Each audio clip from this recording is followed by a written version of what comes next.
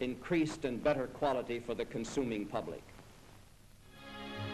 The happy couple first met underwater during a show in Texas. Bob Smith and Mary Beth Sanger. And now comes the sublimely soppy submarine sequel, a full dress rehearsal for their underwater wedding.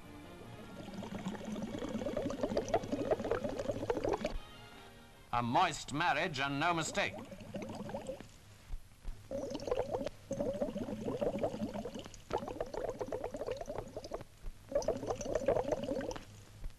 At last, the climax of the wedding and a pretty breathless moment.